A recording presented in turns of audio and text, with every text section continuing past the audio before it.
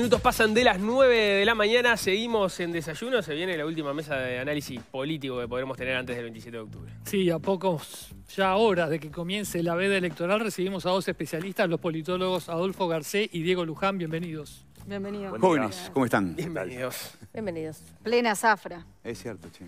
¿Cómo ven Sí. este, este momento final de la campaña? Este, y bueno, eh, incertidumbre sobre todo por cómo va a quedar el, el Parlamento, ¿no? El, domingo, porque después, a partir de ahí, se abre una, una etapa distinta. Pero bueno, hay tantos escenarios posibles que uno no tiene cómo no entretenerse. Diego, ¿coincide? Sí, me parece que ahí la, en la elección de este próximo domingo, eh, sobre todo está en juego lo que decía Fito, ¿no? La, la composición del Parlamento. Nadie me parece que tiene la eh, expectativa seriamente fundada de que vaya a haber una resolución a nivel presidencial, con lo cual me parece que hay en cada, en cada partido hay algo en, en ju- en juego también, ¿no? No solamente los partidos grandes o la coalición como un todo, sino que también los partidos pequeños se juegan, en algún caso entrar o no a la Cámara de Diputados, en algún otro caso llegar o no llegar al Senado. Entonces me parece que en esta, eso hace que las, eh, en estos últimos días, probablemente estas últimas dos semanas, la campaña haya, haya ingresado en, en un, en un tono mucho más este, bueno, eh, intenso, ¿no? que, que de pronto había estado como ausente en, en- en los, primeros, los primeros tiempos de campaña. ¿no? Me parece que ahora sí se nota un vigor que no, que no se veía antes. ¿no? ¿La composición del Parlamento que emerja de esta elección puede alterar el- la votación a presidente luego o no? Porque eso es algo que he escuchado la- las dos versiones. Eh, yo lo vería de este modo, o sea, primero, me parece muy, si tuviera que arriesgar, diría que es muy poco probable que alguna de las dos coaliciones, el Frente y la coalición republicana, tengan mayoría en las dos cámaras, ¿no? Muy poco probable, ¿no? Ponele, cap- capaz que quedan empatados en 15 senadores, eso es un resultado bastante, bastante probable, y, después que ninguno de los dos alcance mayoría en, en la Cámara de Representantes. Y después, bueno, si el Frente tiene mayoría, y uno tendería a pensar que gana sin, sin problema en el balotaje. Ahora, que el Frente no tenga mayoría en alguna de las dos cámaras, ponerle en diputados, no quiere decir que vaya a perder el balotaje. De hecho, en la elección pasada había votado muy mal en octubre y quedó muy cerca en noviembre. Entonces, no es decisivo absolutamente cómo quede el mapa parlamentario. Pero Creo de- yo, no sé cómo lo ves vos, Diego. Igual sí es decisivo después para lo que pase en la discusión parlamentaria, Mirá, ¿no? Ahí es clave. ese es el punto clave, ¿no? Sí, para la gobernabilidad, sí, sí, sí, desde luego. A ver, eh, sumando Porque lo que hay decía- gente que, ah, Sí. perdón, ¿no? Hay gente que dice que es muy difícil que la gente no vote a- a- contra el que obtuvo mayoría parlamentaria. Pero en la elección pasada, la coalición republicana había obtenido mayoría en las cámaras y mucha gente se cambió. A pesar de eso, votó a Daniel Martínez, se cambió, había votado a la coalición republicana y cambió su voto al punto que la elección se definió por 30.000 votos nomás. Sí. Entonces mi pregunta es esa, Claro. si, si la gente termina decidiendo ahí o se puede cambiar. A ver, yo diría que eh, es más relevante para la coalición tener mayoría o no que para el Frente Amplio. Eh, Está bien. eh, Mm. comparto con, con Fito que es, es improbable que el Frente o la coalición tengan mayoría en ambas cámaras. Me parece más probable que el Frente tenga mayoría en el Senado. Este, ahí depende mucho de lo que pasa con los, partidos más chicos en términos de Senado, ¿no? qué pasa con el Partido Independiente, qué pasa con Identidad Soberana. Una cosa es que los dos entren, otra cosa es que entre uno, otra cosa es que no entre ninguno. Si no entra ninguno, el Frente Amplio lo más probable es que tenga mayoría en el Senado. Este, entonces, bueno, ahí están un poco las, incertidumbres. ¿Por qué yo digo que es más importante la mayoría para la coalición? Porque la coalición es una coalición y el mensaje de unidad que, que emite hacia los votantes es, bueno, nosotros somos una coalición, pero tenemos mayoría. El Frente es un partido. Entonces, es importante en términos de la gobernabilidad que tenga mayoría o no, pero en términos del, mensaje que le baja a la ciudadanía, eh, el Frente ya es una unidad. ¿no? Entonces, me parece que ahí este, no, no es simétrico, digamos, la relevancia electoral que tiene la, la eventualmente mayoría que los partidos puedan, puedan tener. De todos modos, también es cierto que una vez que se conozcan los resultados del domingo, los, los candidatos que, que queden en- hacia la segunda vuelta y el resto del elenco político empiezan a hacer el juego, ¿no? O sea, ahí empieza a ocurrir la política. Este, y bueno, ahí hay argumentos de todo tipo, ¿no? Los relatos y las narrativas que se construyen acerca de a quién le fue mejor y a quién le fue peor y a quién le combinó esto y a quién le perjudicó lo otro, son objeto de construcción política, ¿no? Y entonces allí empiezan a jugar los relatos y todo esto, ¿no? Claro. Eh, O, o sea que también no es, no es lo mismo que el Frente quede con 15 senadores y 49 diputados que el Frente quede con 14 senadores y 42 diputados. O sea, en, en los dos va a ser el partido más votado, pero bueno, va a ser una victoria un poco más este, incómoda, ¿no? De, de argumentar públicamente. Entonces me parece que este, la relevancia de la elección del domingo eh, se va a ver no el lunes, sino se va a ver poco con el correr de los días. ¿no? Todavía hay muchos escenarios abiertos, es así. Claro, le- le- si nos ponemos a analizar, bueno, ¿qué puede pasar si, o sea, tenemos que analizar casi todo arriba de la mesa, me- quizás menos una victoria en primera vuelta, Claro, eh, claro. pero los demás están todos, están todos como posibles. Sí, sí. Y después hay otras, yo diría, certeza. Bueno, que el Frente va a estar, va a votar cuatro, no sé, cuatro puntos más como mínimo de lo que votó la elección pasada. El Frente, el piso del Frente para mí es 43, menos de 43 es inimaginable, ¿no? Este, que el Partido Nacional no va a votar tan mal como parecía. Parecía en determinado momento de la campaña, cuando, el, ¿no? cuando la espuma de Ojeda subió, este, parecía que el Partido Nacional se iba, este, se podía desplomar, que podía perder dos, tres ¿Ya bajó la espuma de Ojeda? Ah, para mí sí. Sí. Un ¿Ves cómo subidón que- y la perdió, no sí. la supo pa- sostener. ¿Qué pa- pasó? Para mí, eh, él apostó de entrada a un tipo de campaña electoral que le dio mucha visibilidad, pero que a la larga le hizo perder credibilidad. ¿En qué momento vos ves ese, esa Pasó en los últimos la no sé, última 15 semana? días, Mm. diría yo. ¿no? Pero no es que haya cambiado de estrategia para mí, en una charla que teníamos con Leo el otro día, para mí es que simplemente es la profundización de esa estrategia de tener notoriedad y de colocarse en el centro de la campaña casi a cualquier costo.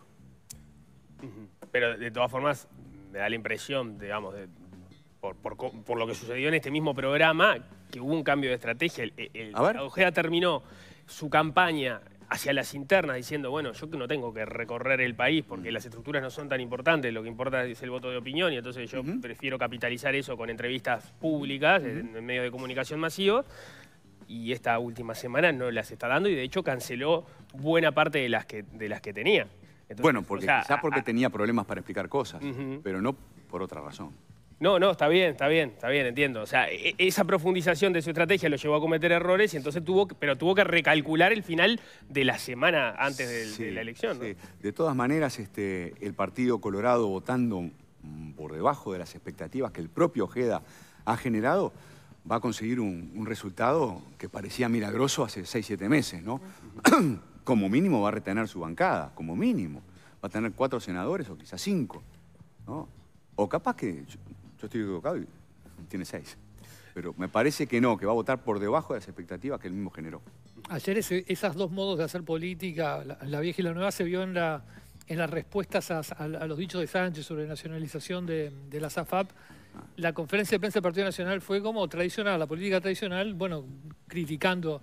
En cambio, la de Ojeda fue, eh, Sánchez entró en modo Orsi, tuvo un lapsus chavista, es decir, con una especie de como de... Ser de- léxico, de- ¿no? de- claro, el vocabulario mucho más este, Sí. exagerado de alguna manera, o más, este, por lo menos yo lo... De, de todas maneras, a la pasada, para no criticar solo Ojeda, grave error de Sánchez, ¿no? Grave error de Sánchez.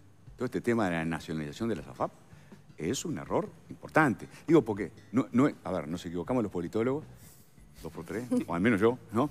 Este, los políticos también. Este, para mí, Ojeda tuvo una estrategia muy discutible, sobre todo, eh, bueno, que lo, llevó a conducir errores, a, a- a- a Cometer. concretar errores, a, a tener errores, sobre todo en el final de la campaña. Pero Sánchez, este es un error muy importante. En fin, y este error ustedes ven, eh, te pregunto a vos, Diego, que, que estás más callado, ¿este error vos ves que pueda tener este, algún efecto electoral? Eh, ¿Te referís al de Ojeda o al de no, Sánchez? al de Sánchez. Al de Sánchez. El, el de Ojeda creo Bueno, que... los dos, Bueno, los dos. de No, yo claro. creo que lo de. Bueno, está, lo de Ojeda es otra cosa. Este, me, me preguntabas por, por, lo de, por lo de Sánchez. Yo, yo creo que, mm, a ver, en una campaña tan, tan carente de debates, ¿no? por distintas razones, en algún caso porque, bueno, los, los programas partidarios no son de- de- de- demasiado relevantes para la ciudadanía o para los políticos, o porque siéndolo son parecidos, o por decisiones estratégicas, como en el caso de, de- de la campaña de Orsi de no, de no debatir, cualquier monedita sirve, ¿no? O sea, eh, esto es un, es un hecho menor, eh, ¿no? La verdad, o sea, son cuestiones que en cualquier campaña eh, hay decenas, ¿no? De derrapes a lo mejor este, verbales. Sí, sí. Piensen que los políticos están 24-7 respondiendo a entrevistas, tuiteando, Es difícil. este, ¿no? Entonces, Eh, a mí me parece que, claro, yo entiendo la, lógica de, la coalición de agarrarse de eso para, para tener un tema. El tema es que cuando, cuando no hay una discusión eh, como la que, bueno, acaban de tener aquí, ¿no? Sustantiva sobre el asunto, la, que, la, que, la que tuvieron ustedes mismos aquí con, con el senador Andrade, este, y que no fue un debate, ¿no? Fueron como distintas exposiciones, pero eh, cualquier, cualquier asunto es relevante. Yo no lo veo como, un asunto relevante que vaya a tener este, incidencia electoral, la, verdad. Me, da la impresión de que no, no mueve la aguja. Yo diría que incluso lo de Ojeda tampoco lo veo como algo, eh, digamos, particularmente problemático. Eh, es parte de su campaña. Su campaña fue así, su campaña se construyó sobre la base de eslogans, digamos, este, apelando a, a discursos efectistas, eh, basados en la, en la, imagen, a veces en la imagen no propiamente dicha, a veces en una imagen retórica. Pero eso le funcionó en un momento porque, como decía Fito, estaba la espuma arriba. ¿Para vos sigue arriba la espuma de Ojeda? Eh, me parece que va a seguir más arriba de lo que la encontró. Es decir, Ojeda apareció hace mm. seis meses en, el escenario político uruguayo, del mismo modo que apareció eh, Manini en marzo, en, la elección pasada. Y esos son, para mi gusto, son este, síntomas de, de algo que ocurre eh, en un sistema de partidos tan estructurado, en un sistema político tan sólido como el que sigue siendo el uruguayo, son síntomas de, que hay un, hay un electorado flotante que, como hemos hablado otras veces, ¿no? que no le interesa la política, que, más bien observa la política como un, como un espectáculo, como un show. Eh, más allá de que, de que, nos guste o no nos guste, a mí no me gusta, pero es lo que ocurre. Y me parece que Ojeda va, a terminar probablemente no pasando a la segunda vuelta, quizás, no sé, pero seguramente teniendo un resultado mucho mejor del que el Partido Colorado esperaba eh, en, el verano o incluso antes de las internas. Sí, yo diría, creo que la mejor forma de definirlo lo de Ojeda es un experimento. Para mí es un experimento. Es un experimento para saber cuánto cambió realmente la sociedad, ¿no? Este, hasta qué punto eh, la gente está reclamando una nueva política que es su, caballito de batalla. ¿eh? Vamos a ver. ¿Qué pasó con la candidatura a vicepresidenta de Valeria Ripoll, que fue otro de los elementos este, disruptivos de la campaña? ¿Funcionó o no funcionó? Eh, al principio claramente fue un problema, se fue diluyendo. Em, en todo caso, no es el problema principal del Partido Nacional, de la campaña del Partido Nacional. Yo creo que el problema principal de la campaña del Partido Nacional no es Valeria Ripoll, Tampoco es, la falta de carisma de Delgado como candidato. Está bien, Delgado no es la calle Pou, perfecto, por si no es Mujica. ¿Mm? Em, el principal problema creo que es otro, que es que es muy difícil, Daniel Chaquete ha insistido mucho en estos días en esto, che, es muy difícil ser el candidato del gobierno. Es dificilísimo, en un país donde la gente siempre quiere algo distinto. Y aunque él hizo un esfuerzo extraordinario por decir, eh, bueno, queremos construir un segundo piso de transformaciones, al principio, ¿no? Porque después... Exacto, después se fue diluyendo, ¿no? quedó instalado que es la reelección del gobierno. Mm. Y con la reelección del gobierno no alcanza para, para que te vaya súper bien en una elección. La gente siempre quiere algún mix de continuidad y cambio. A veces el cambio es muy importante, a veces la continuidad es muy importante. En este caso yo creo que el equilibrio entre las dos cosas en la campaña de Gabo no funciona muy bien. ¿Cómo, cómo, cómo vieron? Hablamos bastante de, Ojeda, las candidaturas y cómo el, desempeño tanto de Orsi como de Delgado en esta campaña electoral. Bueno, eh, es bastante claro que ninguno de los dos candidatos tiene eh, de pronto la, talla que tenían otros candidatos en, las últimas elecciones. De hecho, es la probablemente desde el retorno democrático es la primera elección donde tenés eh, todos los candidatos de los partidos relevantes o más relevantes debutantes, ¿no? Es decir, no, no, no, son, no, han tenido la experiencia de candidatearse a la, presidencia y además ninguno de los eh, tres candidatos principales eh, lideran sus partidos de manera así este, clara, al menos por el momento. En el caso del Partido Nacional eso es clarísimo. Y tampoco lideran sus sectores. ¿Eh? Este, con, lo, cual, bueno, allí hay una parte de la explicación de por qué eh, los candidatos para mucha gente no terminan como de enamorar a, las multitudes, ¿no? Y de hecho, bueno, eh, recién esta semana estamos viendo actos realmente multitudinarios. En general, las giras por el interior, todo el mundo te decía, bueno, se, hacen en, el lobby del hotel, ¿no? Porque van los periodistas y nadie más, este, cuando van los candidatos, ¿no? Esto, eso este, es, todo un síntoma. Eh, más allá de eso, entonces, de las características personales de los candidatos que son cada vez más importantes, la gente cada vez más mira a los candidatos y a las candidatas y observa y, evalúa y juzga, los partidos políticos siguen teniendo una capacidad de movilización y una capacidad de incidencia en términos de la opinión pública que es, absolutamente excepcional en el contexto regional, al menos. Los partidos políticos uruguayos, el Frente Amplio acaba de meter 110.000, 120.000 personas en el Parque Valle, el Partido Nacional hizo un acto enorme también en las piedras. Este, o sea, los partidos todavía son un atajo informativo para que la gente evalúe. Más allá de eso, los partidos tienen ese vigor, los candidatos me parece que todavía no, no han mostrado. Vamos a ver qué pasa en la segunda vuelta, cuando necesariamente la, disputa es más entre candidatos. ¿no? Ahora, ninguno es líder, claramente. porque la campaña era una oportunidad también para mostrarse como eventuales líderes. ¿Alguno, ¿Alguno la aprovechó? Sí. Bueno, no, creo que no. Eh, Ojeda tuvo una gran oportunidad. Vamos a ver si cómo le va, ¿no? Eh, sobre todo en esa, en esa compulsa interna con, con Berry, ¿no? Pero bueno. Pero mira, pero volviendo un pasito para atrás, yo quería decir algo sobre, sobre la campaña de Orsi. A mí una cosa muy buena y otra cosa que no me gusta. Lo que más rescato yo del discurso de Orsi es esa, es esa paz que transmite. ¿no? Transmite paz.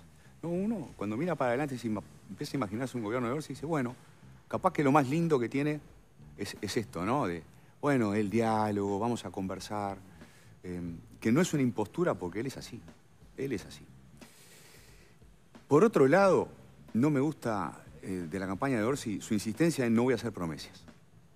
No, perdón, pero no. La campaña electoral consiste en hacer promesas, porque nosotros, los ciudadanos, no tenemos cómo, sino em, cómo, cómo evaluar una gestión de gobierno. La democracia representativa funciona así. en las campañas electorales se hacen promesas y después la ciudadanía, nosotros, chequeamos. ¿Cumplió o no cumplió? Si cumplió, ¿no? Volvemos a votar de repente y si no cumplió, cambiamos. Entonces, yo entiendo por qué no hace promesas, entre otras cosas no hace promesas porque es muy difícil para el frente ponerse de acuerdo en muchas cosas, pero no, yo no haría, no sacaría pecho diciendo yo no hago promesas, no, eh, es un problema de tu campaña. porque puede hacer cualquier cosa y después no hay que reprochar. Porque claro, es así. Cuanto eh, prefiero la tradición uruguaya por ejemplo, muy bien representada, por ejemplo, en, la calle Herrera. ¿no? En la calle Herrera siempre decía, ¿no? Un programa corto, concreto, ¿no? Bien definido para que la gente sepa. Para que la gente sepa qué tenerse. Eso es muy importante de la tradición política uruguaya. Lo hizo la calle Herrera, lo hizo, después lo hizo el Compromiso por el País, lo hizo el Frente, sobre todo en el primer gobierno, lo hizo Sanguinetti con Uruguay entre todos. Che, ideas precisas, promesas concretas y después eh, después pasamos la, pasamos la cuenta. La estrategia de comunicación de Orsi también ha sido cuestionada, sobre todo por el contraste que se vio en relación a la estrategia de comunicación que implementaron sus competidores. ¿Qué piensan de, en, el sentido de no, no debatir? de no asistir a donde están los otros competidores, de tener una aparición en prensa menor que el resto de sus competidores, en fin. Bueno, a ver, eh, me parece importante el punto, porque sobre todo en, en estos tiempos en donde, como decimos, la, política eh, eh, desde el punto de vista físico eh, está como mermando, ¿no? Y entonces la importancia de los medios de comunicación, como esto, como las redes o como cualquier otro, otro medio, son este, canales privilegiados para, transmitir mensajes, ¿no? ahora, dicho esto, también me parece importante rescatar esta tradición, un poco de lo que, lo que hablaba Fito recién, ¿no? Esta tradición de la política uruguaya del mano a mano, ¿no? Es decir, Uruguay tiene una tiene una dimensión, tiene una escala y una geografía que le permite eh, ese mano a mano de una forma relativamente eficaz. ¿no? Es decir, si uno se, imagina hacer campaña recorriendo todos los pueblos, no sé, en Argentina, en Brasil, es, impracticable. Eso en Uruguay se puede hacer, siempre se, hizo históricamente. A mí lo que me parece más debatible de la, estrategia de, Orsi es el hecho de eh, minimizar eh, su, digamos, su, presencia mediática en, ámbitos que no, que no lo obligaban a debatir con, contrincantes. Eso, eso me parece que eso es problemático. Porque ¿cuál es el tema? Yo entiendo que si a vos te invita a una asociación de algo y vos vas a tener cuatro, cuatro veces este, repitiendo un libreto contrario al tuyo y vos vas a tener la oportunidad de repetir solamente una vez el tuyo, es un problema y yo probablemente le hubiera aconsejado si che, no, no vayas. Ahora, en un programa de televisión, en un programa de radio, en una entrevista, eh, en un, medio escrito, en donde Orsi no debate con nadie, ¿no? simplemente responde preguntas. Una vez se puede también pensar, bueno, los, programas este, de, eh, de televisión o, o los streamings, como se usan ahora, a veces también eh, han ido adquiriendo algún un tono más polémico, ¿no? Y de interpelar más a los, a los, a los entrevistados. Eso me parece que es un estilo, es un estilo global. ¿sí? Eh, a uno le podrá gustar más o le podrá gustar menos. Hay a veces una cosa un poco coral también, ¿no? En donde, bueno, se, se- se expone demasiado a los candidatos. Yo entiendo que los, los candidatos también de pronto puedan hacer este, las cuentas. Ahora, este, yo creo que hay ambientes lo suficientemente serios y controlados como para no poder eh, evadir es- esos O- compromisos. hoy- Si alguien quiere ser presidente, tiene que poder responder preguntas. Hoy en la entrevista que le da a, a la diaria, lo dice explícitamente. eh, Orsi dice, lo que sí decidimos es no ir a programas donde hay paneles de periodistas Bueno. que debaten porque en una campaña o se discute con las ideas y propuestas o se pregunta, pero en esos programas terminamos discutiendo con los periodistas. No lo leí, Eso, este, Pero bueno. Es en, en línea con lo que, con Sí. lo que decís vos en, en relación a, a los riesgos, más allá de que Orsi ha dado entrevistas en estos últimos días. Porque Sí, de hecho estaba acá en la esquina recién cuando, la- cuando entré. Telenoche, está en Sarandí. Sí. Me gustaría Eh, preguntarles, este, ya hablamos de Ojeda, hablamos de Orsi, hablamos de, de Delgado, eh, no estamos hablando todavía de algo bastante nove- bueno, novedoso, algo que podía pasar, pero que está pasando, que es la irrupción en, en los números que vemos de las encuestas de Gustavo Salle, que había quedado fuera de, de competencia la última vez, pero que ahora todo indica que va a entrar al Parlamento. Eh, ¿Cuál es la explicación de, de- de ese- de esos números, de esa gente que lo está votando? Debe- debería, a ver, capaz que deberíamos, pare, primero vamos a ver si entra, ¿no? Todo indica que sí, pero asumamos que entra, que saca 3%, cosa que parece bastante razonable. Eh, ¿Sería tan difícil de explicar? Tan difícil de explicar, porque hemos estado por lo menos tres años, desde mediados de 2021 capaz para adelante, escuchando hablar de corrupción en este país todo el tiempo escuchando hablar de corrupción, de negociados, de esto, del otro, ¿no? Entonces, que haya, que prospere un candidato que tiene como, eje discursivo, ¿no? Que son todos iguales y todos corruptos, ¿no? Y financiados por el narcotráfico, no nos debería asombrar. Yo creo que en todo caso el sistema de partidos, el statu quo, para decirlo de alguna forma, debería decir, che, nosotros no habremos criado ¿no? a, esta, persona, no, no habremos alimentado esta criatura. Ah, eh, una pregunta me surge a partir de eso. ¿Eso vos lo decís en el sentido de que falló el sistema porque generó todos estos escándalos, en algunos casos directamente Sí. asociados a la, produ- a la- a la corrupción? Las dos ¿O cosas, porque, las o dos porque cosas. entre los actores se están señalando todo el tiempo, incluso Mirá, exagerando lo que realmente Las dos existe? cosas. Primero, hechos de corrupción había en Roma, hay ahora y habrá en el futuro, ¿no? En Marte, ¿no? Hechos de corrupción sí. Este, entonces, son un problema, no los podemos naturalizar, son un problema, existieron, ¿no? Atesiano estuvo preso. ¿tá? Entonces, son un problema. Segundo, ¿se amplificaron? Y probablemente se, amplificaron también. Es una, mm, me parece que es una tradición de las que no están buenas de la política uruguaya, ¿no? Este, no sé, que probablemente tenga 100 años, es tan larga, es tan vieja como la democracia uruguaya. A ver, es el, es el camino, perdón. Este es el país de, de Jorge Valle y la infidencia. Acuérdense, Jorge Valle, ¿no? El infidente, supuestamente. Entonces, en este país se exageran los hechos de corrupción. Y después se entra en el. No, más corrupto serás vos, perdón. No, era, era, era eso, que es una, es una decisión, eh, es una decisión eh, hacer campaña sobre la base de eso, ¿no? Es una decisión que, Sí. se, que, se, que se toma. La, la tomó probablemente el Frente Amplio, Sí. menos para mi gusto que lo que la tomó en los partidos de la coalición durante los gobiernos del Frente. Perdón. Me parece que fue bastante más notorio. Me parece que el, Sí. eh, el- el Frente, de hecho, me parece que pegó bastante poco respecto de, de los hechos de corrupción que hubo en este, en este gobierno, que como vos bien decís, no está exento como cualquier Pará, otro gobierno no de fue un hechos de eje corrupción. discursivo. Diego, no fue un eje discursivo. Sí, pero me, me parece que menos de lo que, de lo que yo hubiera esperado. Pero son, digo, impresiones nomás. Bueno, Quizás yo la- estoy La equivocado. campaña empezó con el eslogan eh, Elige un La gobierno honesto, ¿no? ¿no? Sí. Empezó, después pasó lo de Y Charles duró, Carrera y bajó. y duró Sí, pero 10 pasó lo de 10 minutos, ¿no? Claro. Este, a, a diferencia de lo que, de lo que pasaba en ot- Claro, porque siempre decimos lo mismo. la- las, las- los estímulos que los políticos colocan en campaña discur- discursivamente tienen que reverberar más o menos bien y armonizar más o menos bien con la realidad. Claro. Cuando el Frente Amplio empezó también eh, con el eslogan El gobierno fracasó, Duró cinco minutos. cinco minutos. El gobierno no fracasó, habrá tenido muchas cosas, y tuvo seguramente muchas cosas muy malas para criticarle, para cambiar, probablemente pierda la elección por eso, quizás no, no lo sé. pero claramente no fracasó. Eso re- no, no reverberó bien con, con- con la realidad. Ahora, cuando los partidos actualmente en el, en, el, en el gobierno sistemáticamente castigaron a los gobiernos del Frente Amplio por hechos de corrupción, uno podría decir, bueno, son iguales, son menores, son mayores, no sé, hechos como tiene cualquier gobierno, tomaron una decisión también. Colocaron allí la discusión pública. Entonces, la discusión pública, y aquí sí sumo a lo que, a lo que decía Fito, eh, la discusión pública giró sobre la base de la honestidad de los gobernantes. Entonces, Salle es probable que, que tenga una explicación por ese lado. Eh, ahora, digamos todo, está muy acotada esa estrategia, ¿no? Porque el gobierno de Uruguay, ni los del Frente Amplio, ni los de la coalición, fueron gobiernos absolutamente corruptos. No, por, por ¿no? No fueron los gobiernos argentinos, no fueron los gobiernos de Perú.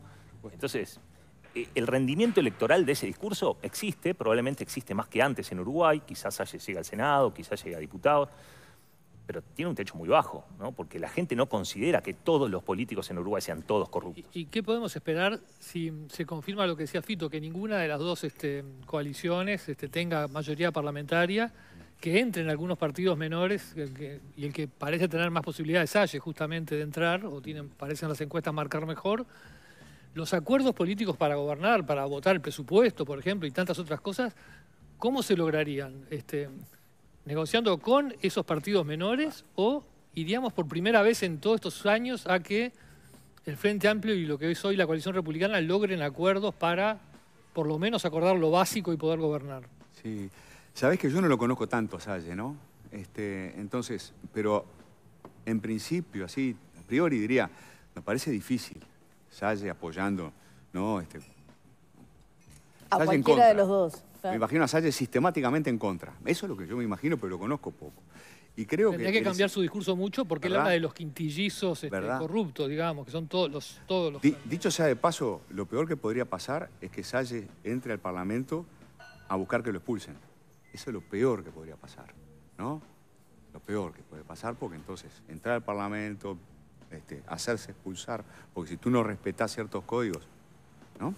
Este, y después victimizarse, eso es lo peor que puede pasar. Ojalá no ocurra. Este, no, y me imagino más lo otro, acuerdos que crucen los bloques, los bloques entendiéndose. De hecho, pasa mucho más de lo que sabemos, ¿no? Gracias al, programa de estudios parlamentarios. Sabemos que muy a menudo, en realidad, siempre, ¿no? Los bloques eh, cooperan entre sí en el Parlamento. En la LUC, recuerden que más de la mitad de los artículos de la LUC fueron votados también por el Frente. Ah, pero Entonces, pasa mucho en para el Parlamento. los otros, Ok, claro. o sea, en el Parlamento es una canción, en el debate público es otra. Pero yo me imagino que va a haber gobernabilidad en cualquier caso. No sería nada más, no sería tan difícil conseguir un senador y, no sé, en el peor de los casos, cinco o seis diputados. Diego Luja, perdón, sí. No, eh, el tiempo, pero brevemente, sí. que estoy pensando que es un es un eh, es una incógnita, ¿no? Porque la campaña estuvo estuvo muy muy orientada a, a- a la, a la diferenciación. Si bien es cierto que la la cuestión programática tiene coincidencias, si uno ve los programas hay tres, cuatro líneas de coincidencias básicas que podrían alentar el optimismo, decir, che, puede haber este, mayorías.